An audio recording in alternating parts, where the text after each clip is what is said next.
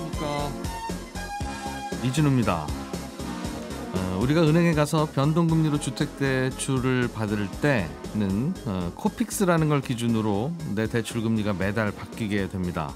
그 코픽스가 어제 발표됐는데 한 달 전보다 꽤 떨어졌습니다. 한국은행이 최근에 꾸준히 기준금리를 인상하고 있는데 대출금리는 그러면 오히려 더 떨어지게 된 건데요.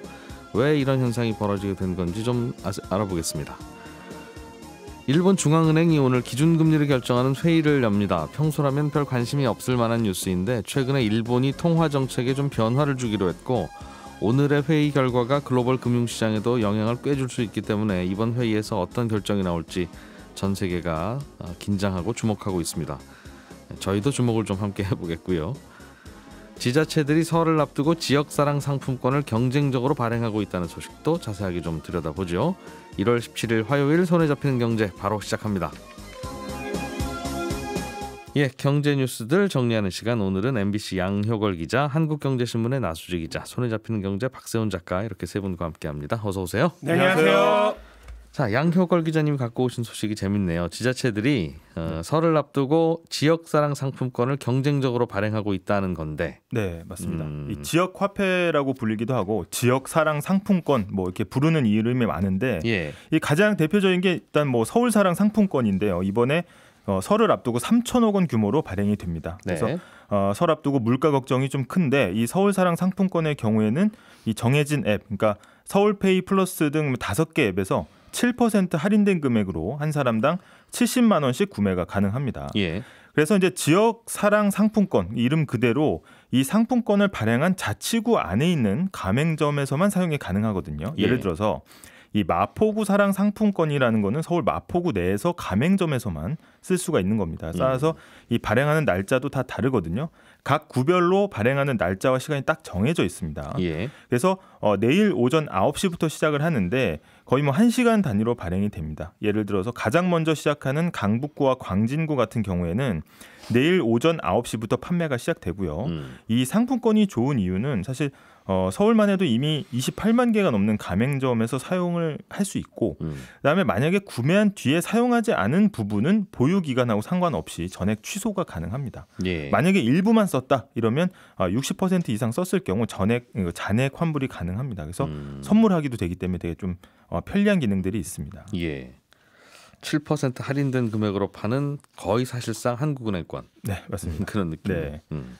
서울은 그렇고 다른 지자체는 상황이 어떻습니까? 네, 서울뿐 아니라 뭐 다른 곳들도 지금 경쟁적으로 지역 화폐 발행을 앞두고 있습니다. 이미 음. 설 특별 할인으로 발행을 한 곳도 있고요. 예. 경기도 같은 경우에는 이제 경기 지역 화폐를 10% 추가 지급하는데 사실 24일부터 이달 말까지 진행이 되고 음. 예산 확정이 어려웠던 일부 지자체 성남시 같은 경우에 오늘부터 10% 어, 특별 할인이 들어갑니다. 음. 그러니까 인천이나 부산 등 주요 지자체에서도 지역 화폐 발행 중이거나 특별 할인하고 있는데 아무래도 이제 지자체 입장에서는 지역에서 발행한 상품권은 지역 가게들에서 이제 쓸 수밖에 없기 때문에 예. 지역 경제 활성화 효과가 있다고 말하고 있고요. 지역민들의 반응도 나쁘지가 않습니다. 그리고 음. 특히 이게 성장한 게 코로나19 겪으면서 각종 지원금이 지역 화폐로 제공되기도 했거든요. 그래서 어 대부분 이제 코로나가 한창이던 2021년에는 지원 음. 예산이 음. 1조 원을 넘기도 했습니다. 그리고 예. 어, 이 기간을 거치면서 거의 뭐 한 2019년에는 지역사랑 상품권 판매액이 한 3조 정도 됐는데 음. 한 2, 3년 사이 한 23조 원 규모로 엄청나게 커졌습니다. 1년에 발행하는 금액이 네, 맞습니다. 그래서 와. 거의 제2의 화폐로까지 성장을 했다. 이렇게 볼 수가 있습니다. 음. 음. 한 사람당 뭐 70만 원 서울 같은 경우는 그게 네. 연간 한도가 아닌가 봐요. 네. 이번에 이제 살 수 있는 한번 이제 풀릴 때 살 수 있는 아, 한도가 그때, 그때. 네, 70만 원입니다. 그래서 음. 그 한도 내에서 이제 살 수가 있고요. 그러니까 23조 원이니까 우리 국민들로 나누면 한 1인당 뭐 몇 수백만 원이라서 네. 어, 그래서 그래서 어, 경쟁이 되게 치열합니다. 이거 살 때. 꽤 살수 네, 있구나라는 네. 생각이 드네요. 네. 할인율은 아까 서울 같은 경우는 7% 할인이라고 말씀 주셨는데 네. 성남시는 10% 특별 할인? 네. 그리고 음. 뭐 들쭉날쭉합니다. 예. 경기도나 예. 다른 지역은 10%고 서울은 7%, 뭐 대구는 5% 이런데 예. 어, 사실 서울 같은 경우에도 지난해까지만 해도 10% 할인율을 적용해서 싸게 팔았습니다. 예. 근데 올해 축소가 된 건데 음. 이 다른 지자체들도 할인율을 줄이거나 아니면 규모를 축소해서 지금 발행을 하고 있거든요.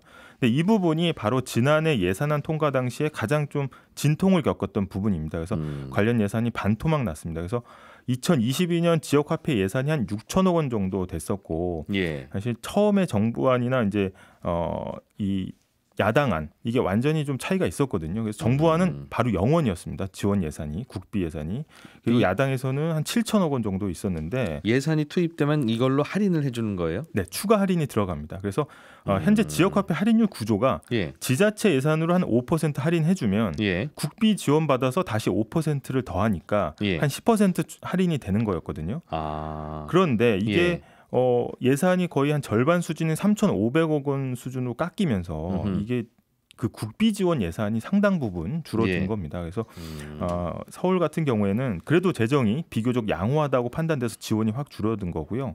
어, 다만 인구 감소 지역 그리고 열악한 지역 경기를 살려야 된다라는 어, 필요성이 높은 데는 어, 음. 10%로 유지를 하기로 했습니다. 예. 근데 할인율이 10%면은 원래 한 만 원 정도 상품권 한 9천 원 정도에 살 수 있는 거잖아요. 예. 그러니까 사람이 당연히 몰릴 수밖에 없는데 음. 5% 할인으로 줄면은 조금 이제 매력도가 떨어지겠죠. 음. 게다가 아, 그러다 보니까 지역 화폐의 흥행 자체를 좀 망칠 수 있는 거 아니냐 이런 의견도 나오고 있고 사람들이 5% 할인이라면 굳이 번거롭게 안 사러 간다 이거죠? 네, 근데 10%는 음. 확 느낌이 좀 다르잖아요. 그래서 가뜩이나 지역 경제가 어려운데 더 주지는 못할 망정 예산을 줄인다는 의견이 음. 많았습니다. 그래서 뭐 지자체 연구 결과 보면은 뭐 충북 같은 경우에는 뭐 발행량 발행액에 거의 어 10배 정도의 파급 효과가 있다. 이런 연구 결과가 나오기도 했습니다. 음.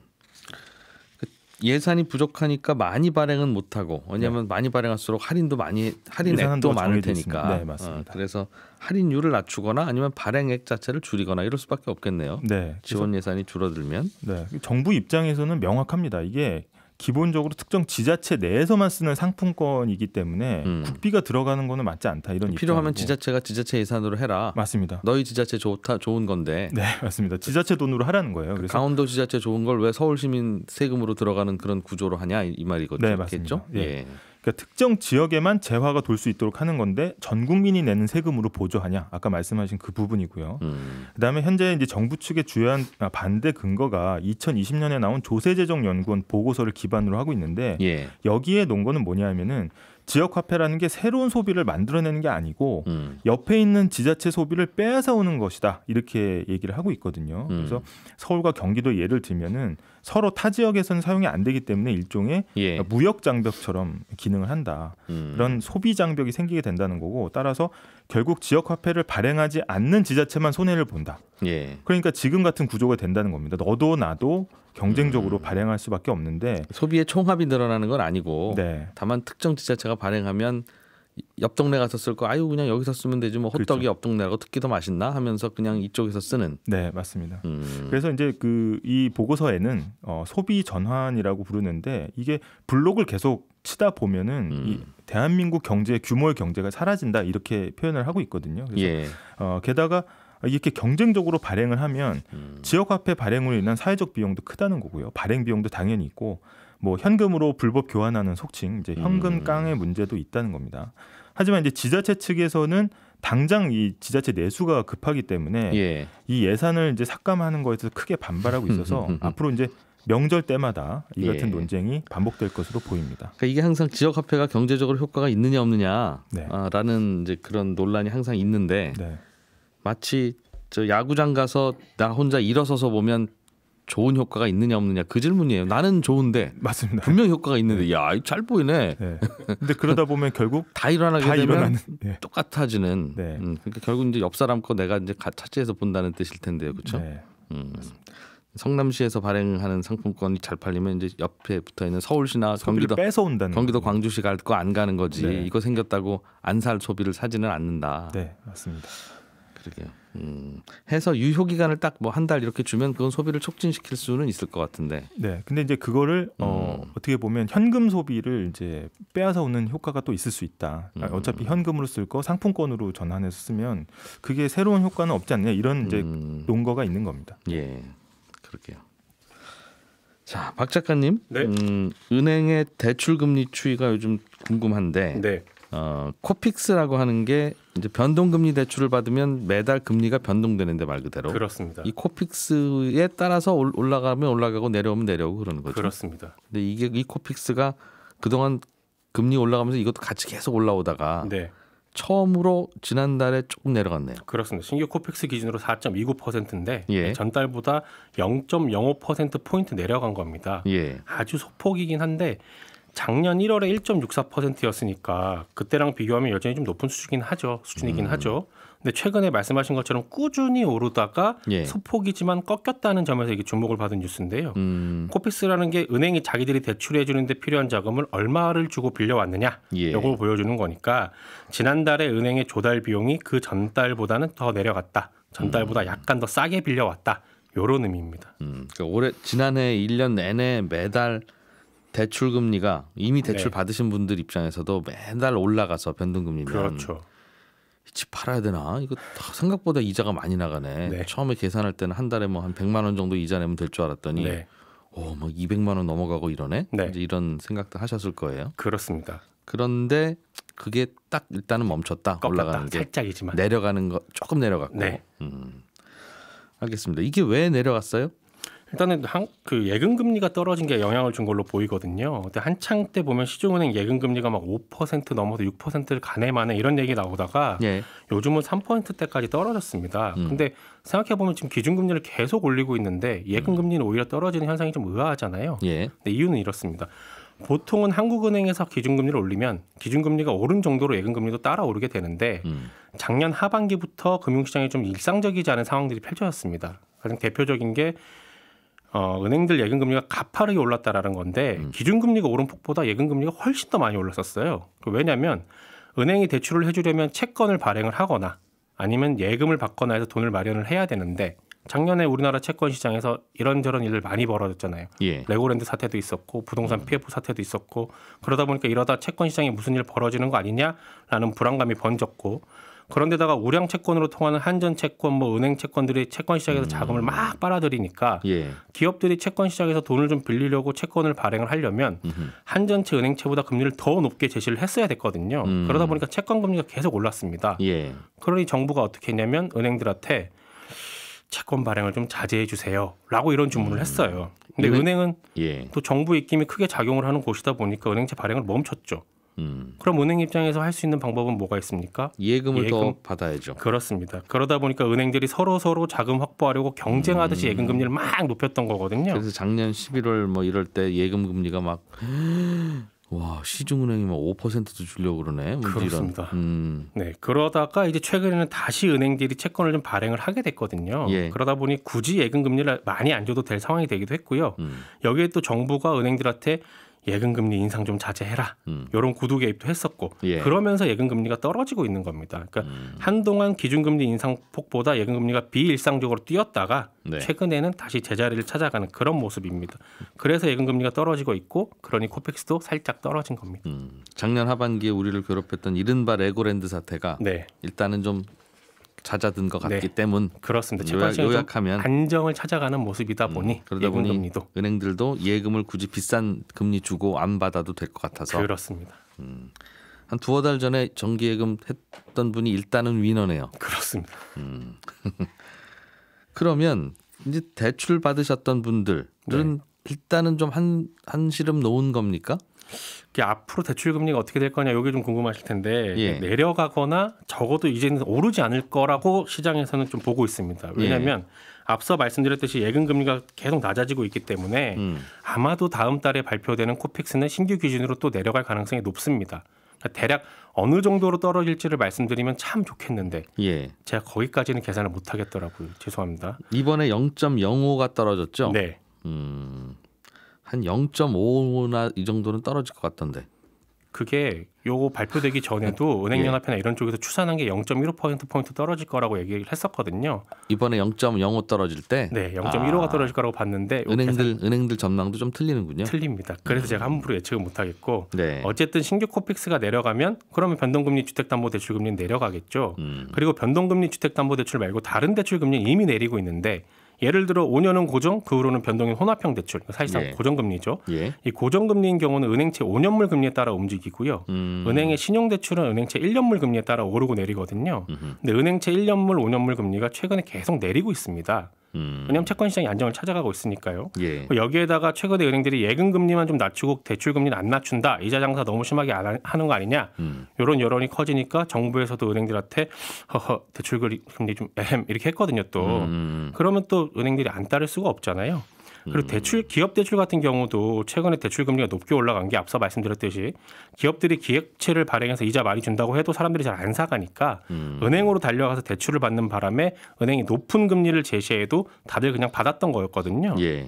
근데 요즘은 채권 시장도 좀 안정이 되고 그래서 채권 발행해서 돈을 빌릴 수 있으니까 굳이 은행으로 달려가지 않아도 되고. 그럼 은행들은 또 대출 경쟁을 좀 해야 된다. 그렇습니다. 금리 낮춰서라도. 하반기에는 시중 금리가 좀 내려갈 거라는 전망들이 나오고 있으니까 음. 굳이 지금 높은 금리에서 대출 안 받으려고 합니다. 그러니 예. 은행 입장에서는 대출 금리를 내려야 되고요. 그러면 음. 앞으로 예상치 못한 변수가 발생하지 않는 이상은 음. 대출 금리는 지금보다 점점 더 좀 내려가는 쪽으로 시장은 보고 있습니다. 요약하면 대출 금리가 좀 내려가는 분위기가 잡혔다라는 그렇습니다. 건데 대출 금리가 궁금한 게 아니라 사실은 이게 부동산 가격에 영향을 많이 주다 보니까 네. 야, 그 집값은 좀 더 떨어질 수 있는 거냐 아니면 요게 바닥인 거냐 이제 하는 그런 궁금함. 네. 집 있는 분이든 없는 분이든 어, 그것 때문에 이게 이제 예민한 수치인 거죠. 네. 음, 알겠습니다. 나수지 기자님이 준비해 오신 소식은 일본 중앙은행과 관련한 건데 네. 일본 중앙은행이 우리로 치면 금통위 이거를 오늘부터 여나 봐요. 네, 오늘부터 이틀간 열고요. 한 내일 점심쯤 결과 발표하고 기자회견도 여는데 이게 최근 몇 년 동안 일본 중앙은행 회의 중에서 가장 관심을 받고 있는 회의입니다. 음. 왜냐하면 일본이 2016년부터 지금까지 금리가 그냥 계속 마이너스 금리, 그러니까 기준금리가 마이너스 연 0.1% 유지하고 있거든요. 예. 그러는 동시에 10년 만기 국채 금리를 최대 연 0.25%어 0.25%에서 유지될 수 있도록 이 채권을 계속 시장에서 사들였습니다. 음. 그러니까 시장에서 채권 사겠다는 사람이 없어서 금리가 조금이라도 올라갈 것 같으면 채권을 또 사들여서 금리를 낮추는 일을 계속 반복을 했는데 음. 근데 이거 뭐 채권 사는 돈도 결국 중앙은행이 돈을 찍어서 만드는 거라 예. 네, 요약하면 지금까지 일본은행은 국채 따라다니면서 시장에 계속 돈을 뿌려 왔거든요. 음. 근데 지난달에 시장이 깜짝 놀란 게 일본 중앙은행이 10년 만기 국채, 국채 금리 허용폭 상한을 음. 원래는 0.25%였는데 이걸 0.5%로 높이기로 했습니다. 예. 근데 이게 이유가 그 당시엔 두 가지 정도였는데요. 하나는 일본 물가가 40년 만에 드디어 튀어오르기 시작했다라는 겁니다. 그러니까 다른 나라 중앙은행과 마찬가지로 일본 중앙은행의 목표 물가 상승률도 2% 정도인데 예. 이게 작년 여름부터 드디어 2%를 좀 웃돌기 시작했고 음. 두달 전에는 한 3.7%까지도 올라왔거든요. 예. 그러니까 돈을 많이 풀던 거를 조금 덜 풀어도 되겠다라는 생각을 한 게 첫 번째가 있고. 음. 그 다른 나라들은 이제 물가 고생 1년 내내 하다가 아, 좀 낮아지나? 이제 이런 느낌인데 요즘. 네. 그러면서 금리도 조금 좀 내려가는 분위기가 잡힌다고 좀 전에 박 작가님이 설명도 해주셨고 근데 일본은 뒤늦게 어, 물가 너무 많이 올라요. 금리 좀 올려야 되나 봐요. 정말 우리 이제 네. 이런 분위기라는 거죠. 이제서야 조금 그리고 올라도 음. 어, 이거 음. 진짜 오른 거 맞을까? 뭐 이렇게 궁금해하고 있는 분위기인데. 야, 일본에서 물가와 금리가 오르다니 세상 이게 진짜 꿈이야 생시야 이런. 음. 네, 40년 만이니까요. 음. 그리고 또 다른 이유가 하나 더 있는데 이게 미국 중앙은행이 금리 올해 안에 절대 안 내리겠다 이렇게 얘기를 했잖아요. 그러면 미국 기준금리는 높아져만 가고 음. 일본은 그대로니까 격차가 계속 벌어져서 그럼 돈은 더 높은 이자 주는 미국으로 더 많이 오래 빨려 들어갈 테니까 예. 이 힘을 중앙은행이 일본은 버티기가 어려워지는 겁니다. 음. 그러니까 일본 중앙은행은 돈 뿌리는데 한쪽에선 진공청소기로 빨아들이니까 미국이 네 음. 시장이 이전만큼 돈이 돌아다니게 하려면 일본이 더 많은 돈을 뿌려야 되는데 이게 참 쉽지가 않겠죠. 음. 이미 일본은 일본 국채의 절반을 중앙은행이 다 가지고 있을 정도로 무리하고 있는 상황이어서 조금 어, 정책을 바꾼 측면이 있고요. 그래서 이게 굉장히 깜짝 놀랄 결정이었는데 그 뒤에 바로 열리는 회의가 바로 오늘이어서 음. 이 사람들 머릿속에는 그럼 그동안 풍선 세게 누르다가 지난달에는 살짝 덜 세게 누르겠다고 했고 그러면 이제 아예 손 떼버리는 거 아닌가 하는 음. 생각이 자리를 잡게 됐고 또 이번에 더군다나 이후에 총재가 바뀝니다. 그래서 혹시 어떤 변화가 있지 않을까 이런 음. 것 때문에 회의 결과에 이목이 쏠리는 겁니다. 지금부터 일본 금리도 이제 서서히 꽤 많이 오르게 될 거냐? 네. 아니면 지난달에 한마디 한 게 그냥 그거 한 번 올리고 만다는 뜻이냐? 이게 궁금하다는 거군요. 네, 맞습니다. 음. 근데 지금 가장 가능성이 높은 시나리오는 사실은 이번에는 가만히 있을 거다라는 쪽에 조금 무게가 쏠리기는 합니다. 그러니까 음. 지난달에 워낙 일본 나름대로는 뭐 큰 변화를 줬기 때문에 이 충격을 시장에서 완전히 소화하기까지는 좀 시간이 걸릴 것 같다라는 거고. 예. 또 일본 중앙은행 안에서도 아니 이게 물가가 오르기는 했는데 음. 이게 진짜 경제가 좋아지고 임금이 올라서 그런 게 아니라 예. 그냥 원자재 가격 오르고 엔화 가치 떨어지니까 수입 물가가 올라서 그런 거 아니냐? 라는 신중론도 좀 만만치 않다는 거죠. 음, 그러니까 뭔가 사람들이 마음속에서 소비 심리가 꿈틀꿈틀꿈틀 하면서 물가가 올라야 그게 이제 다른 나라에 가면 큰일 난 건데. 네. 어휴, 사람들이 그 돈을 많이 쓰기 시작하는 일본은 그러길 바라는 거라는 거잖아요. 네, 임금도 좀 오르고 음. 어, 물가도 좀 올랐으면 좋겠다라는 예. 건데 이게 아직 안 그런 것 같다라는 게 음. 이제 일본에서는 신중론인 거죠. 예. 근데 그럼에도 불구하고 이번에도 변화가 있을 것 같다라는 의견도 만만치는 않은데 음. 왜냐면 일본 중앙은행이 힘들어서 풍선에서 아까 잠깐 살짝 손을 뗐는데 풍선이 더 팽팽하게 부풀어 오른 상황입니다. 그래서 음. 일본 중앙은행이 이전만큼 혹은 그 이상 힘을 줘야 되는 상황이거든요. 풍선이 부풀어 올랐다는 건 금리가 올랐다는 얘기죠? 네. 음. 그러니까 일본 중앙은행이 지난달에 국채금리 상단을 0.5%로 높여 잡고 나니까 시장에서는 그럼 금리 더 오르겠네라는 생각이 퍼진 거고. 예. 그래서 국채금리가 더 많이 치솟았습니다. 음, 음. 그래서 지난주에는요, 일본 중앙은행이 국채금리를 이 목표에 맞추려고 하루에만 우리 돈으로 50조 원어치 국채 사들였거든요. 금리를 떨어뜨리려고? 네, 금리 음. 떨어뜨리려고. 예. 이게 하루 매입 금액으로는 신기록입니다. 음. 그러니까 그렇지 않아도 국채를 많이 갖고 있어서 걱정인데 아유 음. 그러면 이거 더 누르기는 힘드니까 조금 더 손 떼거나 아니면 아예 다 떼버려야 이제 음. 부담을 좀 덜 수가 있게 되는 거죠. 일본 중앙은행과 금융시장 큰 손님들이 좀 한판 붙었네요. 네. 어. 일본은 중앙은행은 계속 돈 풀고 있고 큰 손들은 계속 국채 팔고 있고 이런 상황인 겁니다. 그큰 손들은 일본 금리가 이제 올라갈 거라는 쪽에 베팅을 이제 걸고 있는 거고. 네. 일본은 최소한 속도 조절은 좀 해야 될 테니까. 네, 맞습니다. 아, 근데 이게 일본이 자꾸 금리가 올라가면 우리는 좋을 건 없는 게 일본이 싼 금리 때문에 엔캐리 자금이라고 해서 여기저기 음. 전 세계에 이제 자금들을 흩어놨잖아요. 네. 일본에서 돈 빌려서 미국 주식 사고 한국 주식 사고 이런 그렇죠. 거. 부동산도 사고. 근데 이, 이 친구들이 다시 그럼 일본으로 도, 되돌아갈 거 아니겠습니까? 어허. 그런 게 조금 이제 걱정일 것 같은데 아무튼.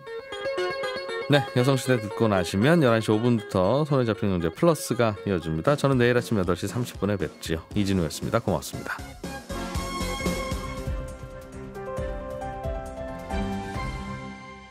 경제를 생각하는 사람들의 즐거운 습관. 이진우의 손에 잡히는 경제.